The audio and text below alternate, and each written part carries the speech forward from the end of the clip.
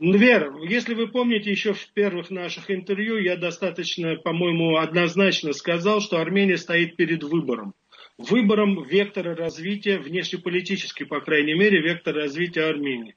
Вот сейчас, спустя несколько месяцев, да, после наших первых интервью, я могу сказать, что Армения сделала свой выбор. По крайней мере, политическое руководство, администрация Пашиняна, они сделали этот выбор. И это не пророссийский выбор, это проевропейский выбор.